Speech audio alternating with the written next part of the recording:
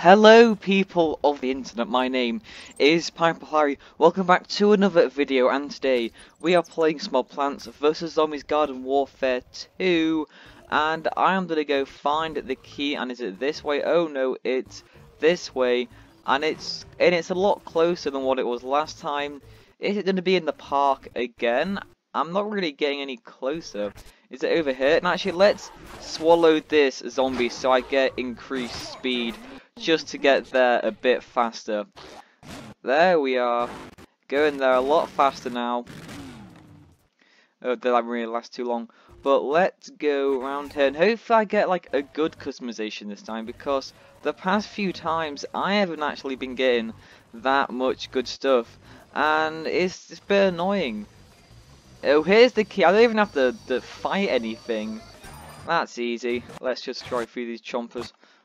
There we are. And let's see, hopefully, something good. Ooh, a sticker pack. Can I get can I get customization in the sticker pack? Ooh, this could be good.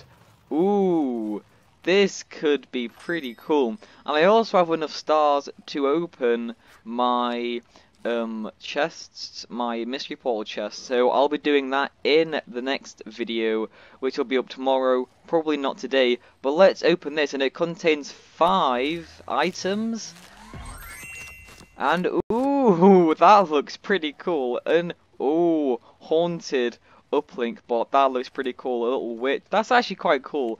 I'm I'm happy with that. I'd definitely rather have that more than a customization. And let's see if there's any other packs. And there is this. There is Lawn of Doom 2016 pack. So that's last year's. And I will do a video opening those soon. Now I actually know they're here. And anyway guys, if you enjoyed this video, leave a like, subscribe for more content, and I'll see you guys in the next one. Good